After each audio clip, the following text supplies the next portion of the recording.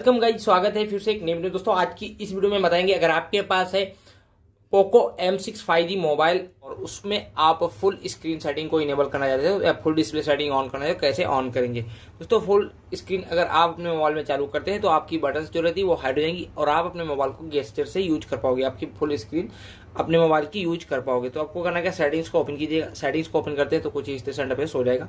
थोड़ा नीचे आ जाना है इसको डाउन करना यहाँ पे आपको एक ऑप्शन देखने को मिल जाता है। दोस्तों, यहाँ पे होम स्क्रीन होम स्क्रीन पे क्लिक करना है। अब यहाँ पे सिस्टम नेविगेशन का ऑप्शन मिल जाता है। सिस्टम नेविगेशन पे क्लिक कर देंगे। अब यहाँ पे आपको बटन का ऑप्शन मिल जाता है गेस्टर तो आपको गेस्टर वाले ऑप्शन पे क्लिक करना है। यहाँ से दोस्तों आपके मोबाइल की जो बटन रहती है वो हार्ड हो जाएगी। अब दोस्तों अपने मोबाइल की फुल स्क्रीन आसानी से यूज़ कर पाओगे और अपने मोबाइल को गेस्टर से आसानी से चला पाओगे। तो वीडियो सुन के वीडियो को लाइक और चैनल पर नए चैनल को सब्सक्राइब ज़रूर करें। मिलते हैं किसी नई वीडियो में।